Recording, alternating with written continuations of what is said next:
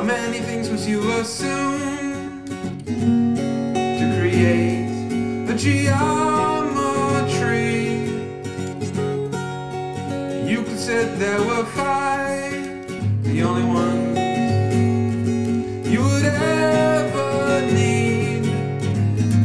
A quintet of axioms, so simple that they seem dumb, but they are the building blocks in this math system.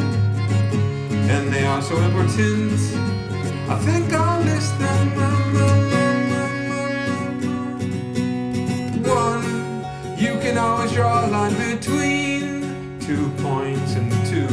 Every line can be extended forever.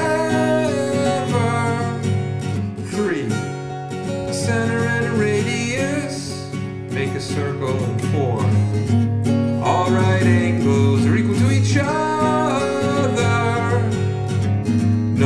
Martha drops a bombshell about lines that are parallel. If you draw two lines and then a third right through them,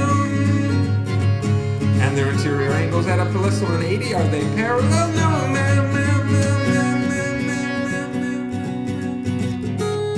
Those are the things you must assume.